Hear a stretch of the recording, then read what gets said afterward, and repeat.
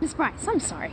Careful there, you don't want to mess up the do. I have an important showing. Sorry, Miss Bryce. It, it was a long way to get all the way from Brentwood You know, showing going today. from a showing agent to a fully fledged agent is a difficult task. You might not be up for it. Oh, I think I got the dream one. The the author showing. I think I got it.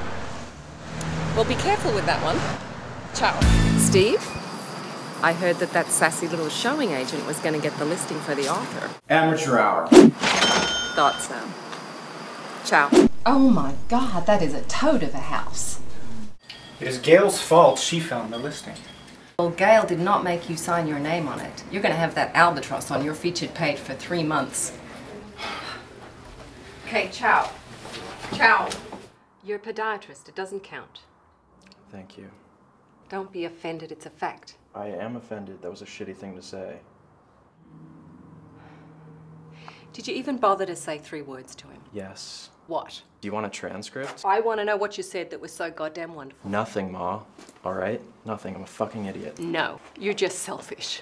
You're just selfish. You couldn't be bothered to just come right out and see your father. You're the one who told me not to come. Because it was very clear from your calls that you didn't really wish to.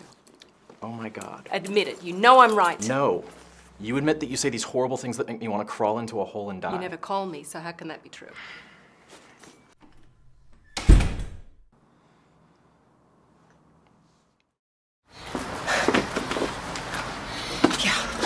I would say exceedingly hard. Sergeant Miroslova, report to my office at 2100. Section 3 needs a solo recon. Sector 3,